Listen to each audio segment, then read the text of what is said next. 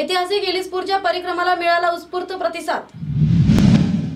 आदिवासी पर्यावरण सामाजिक संघटन परतवाडा स्वराज्य प्रतिष्ठान वन्यजीव व पर्यावरण संवर्धन संस्था अमरावती यांच्या संयुक्त विद्यमाने आयोजित ऐतिहासिक इलिसपूर परिक्रमा संपन्न झाली. अचलपूर प्राचीन इतिहास जाणीव तथा आपला वारसा जपण्याकरिता व पर्यावरण संवर्धन ऐतिहासिक वास्तूची अभ्यास तथा देखभाल व्हावी या दृष्टीने सदर विषयांना अनुसरून विविध कार्यक्रमाचे आयोजन नेहमी केले गेले. असाच एक कार्यक्रम म्हणजे ऐतिहासिक इलिसपूर अचलपूर परिक्रमा. आपण सर्वांनी महाराष्ट्राच्या इतिहासाचा अभ्यास केला आहे परंतु तो सर्व मराठवाड्यांचाच किंवा पश्चिम महाराष्ट्राचा. या अभ्यासात विदर्भ आपल्याला त्वचित अभ्यासाला मिळाला. म्हणूनच आपल्या सर्वांना विदर्भाचा प्रगल्भ इतिहास अभ्यासात यावा व विशेषतः आपल्या गावाचा व आपल्या जिल्ह्याचा इतिहास अभ्यासात यावा यासाठीच या मोहिमेचे आयोजन करण्यात आले. विदर्भाच्या इतिहासात अचलपूर शहराचे एक महत्त्वाचे स्थान आहे. अचलपूर शहरात बऱ्याचशा ऐतिहासिक वास्तू आहेत व त्यांना प्रलब्ध इतिहासाची व शौर्याची जोड आहे. या सर्व इतिहासाला उजाड देण्याचा एक प्रयत्न करण्यात आला. सकाळी साडेआठ वाजता बीएसपी पाटील महाविद्यालय परतवाडा येथे सर्व लोक एकत्रित झाले. तत्पश्चात स्थानिक बी एस पाटील महाविद्यालयामध्ये कार्यक्रमाची माहिती व ऐतिहासिक अचलपूर प्रति मनोगत व्यक्त केल्या गेल्या.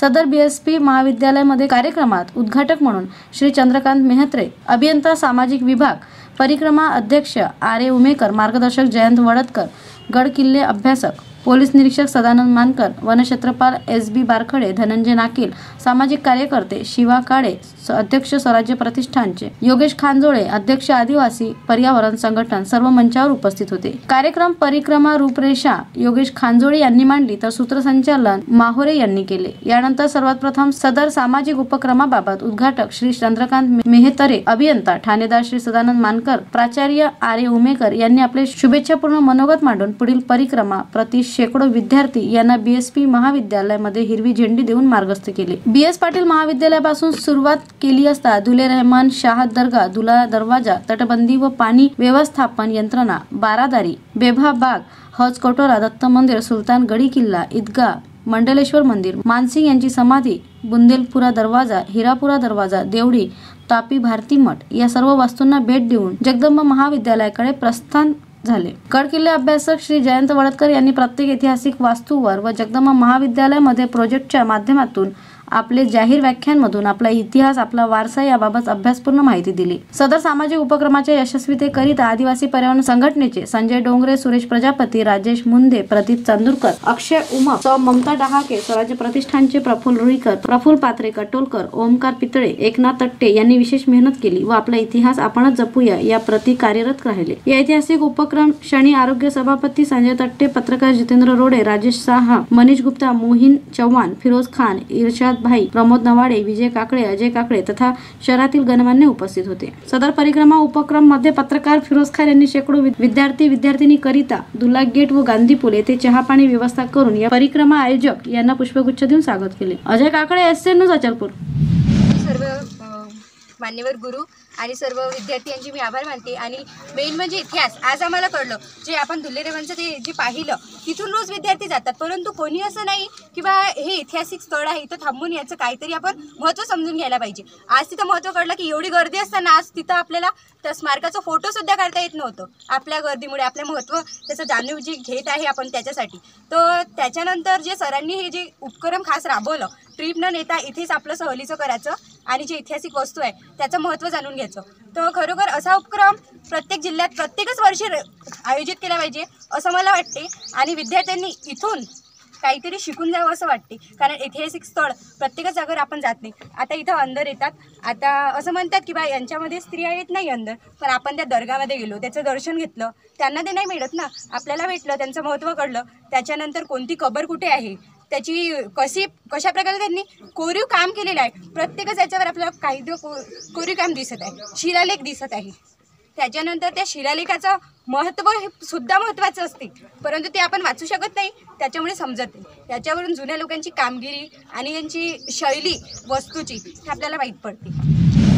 म्हणजे आपण जर गुगलमध्ये इमेज भरून बघितली किंवा आता इथं कोपऱ्यातून पायऱ्या पण आहेत त्याच्यावर गेल्यानंतर असं लक्षात येईल की तो पाच म्हणजे कमळाच्या पाकळ्यांसारखा पंचकोनी बुरुज आहे. अतिशय सुंदर असे पंचकोनी बुरुज या ठिकाणी परकोटात आहेत. मग आम्ही तुम्हाला सांगितलं की चंद्रपूरचा परकोट अकरा किलोमीटर लांबीचा आहे. त्याच्यानंतरचा सेकंड नंबरचा हा परकोट आहे. याची लांबी पाच किलोमीटर आहे. पाच किलोमीटर लांबीचा शहराला परकोट. हा बांधला गेला आहे अचलपूरचे जे नवाब होते. इस्माईल खान म्हणजे सतराशे सहासष्ट ते सतराशे सत्तर या पिरियडमध्ये ह्या परकोटाचं बांधकाम झालं. या परकोटामध्ये मुख्य पाच दरवाजे आणि इतर दोन दरवाजे असे सात दरवाजे आहेत. तर त्यातला आत्ता आपण ज्या दरवाज्यातून प्रवेश करून आलो हे काही परकोटाचं प्रवेशद्वार नाही. या ठिकाणी आतमध्ये छोटासा प्रवेशद्वार आहे तुम्हाला लक्ष देईल. बाकीचे प्रवेशद्वार खूप मोठे आहेत. तर ह्या ठिकाणी नवाब घराण्याचा रेसिडेन्शियल एरिया म्हणजे निवासस्थानं होते. हा जो मोकळा एरिया दिसतो. आता इथे काही सरकारी इमारती आहेत आणि त्यामध्ये जिल्हा परिषदची शाळा आहे. परंतु नवाब घराण्याच्या ज्या काही इमारती होत्या निवासस्थानं ते या ठिकाणी होते. आणि इथून आता आपण परकोट सुरू झाला आहे. अलीकडेच हे जे लोखंडी कंपाऊंड दिसते हे आर्किओलॉजी म्हणजे पुरातत्व खात्यानं केलेलं आहे. आणि पुढे गेलो की दुल्ला दरवाजा आहे. म्हणजे दुल्ले रहमान शहाची कबर. आणि दुल्ला दरवाजा. नाव एकच आहे. लक्षात आलं ना? तर तिथं गेल्यानंतर आपण मी तुम्हाला सांगतो की त्याच्यावर असलेले शिलालेख आणि तो त्याला दुल्ला दरवाजा का म्हटलेला आहे. सिटी हायस्कूलजवळ आता आपण जाऊया तर जाताना आपल्याला परकोट बघायचा आहे. म्हणजे परकोटाची मजबूती बघा त्याची उंची बघा. आणि ह्या सगळ्या परकोटात आता आपल्याकडे जो दगड आहे तो काळा दगड मिळतो. म्हणजे कुठेही जर पाहिलं तर काळा दगड. परंतु ह्या संपूर्ण परकोटाला लाल दगड आहे. हा दगड कुठून आणला असेल? एम पीतून बैतूलच्या पुढे एम पीच्या भागात असा दगड मिळतो. तर हा माहिती घ्यायची. समजून घ्यायचं. या माध्यमातूनच आपण थोडंसं इतिहासात डोकवायचं की आपला वारसा आपला इतिहास काय सांगतो. याकरिता झटणारी स्वराज्य सेवा प्रतिष्ठान असो आदिवासी पर्यावरण सामाजिक संघटना असो या सर्वांचं सर्वप्रथम मी खूप धन्यवाद देतो की हा उपक्रम खरंच वेगळा उपक्रम ज्याची आज गरज आहे. मंचावर उपस्थित आदरणीय अ, सरकार सर रोजगार सर गडकरजी सर्व आदरणीय मंच उपस्थित सर्व पत्रकार बंधू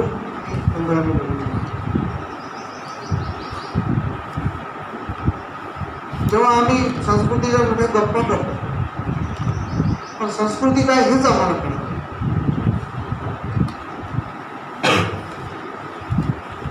संस्कृतीच्या खूप मोठ्या मोठ्या गप्पा करतो.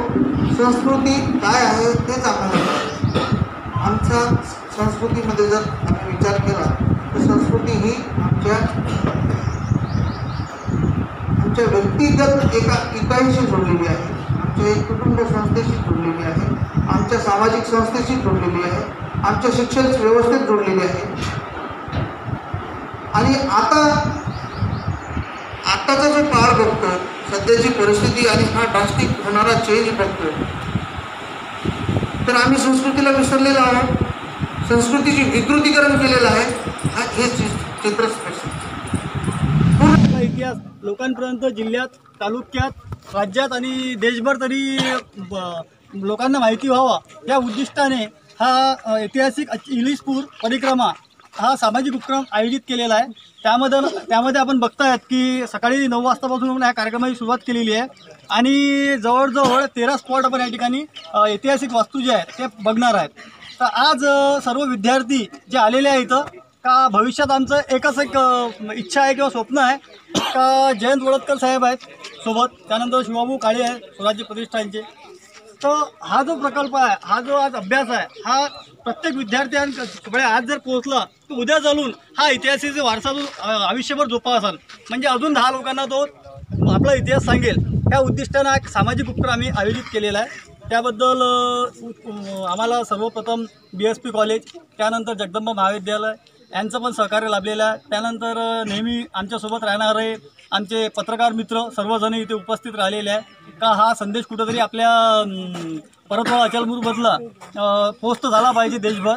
म्हणून त्या प्रति मी सर्वांना धन्यवाद देतो आभारी व्यक्त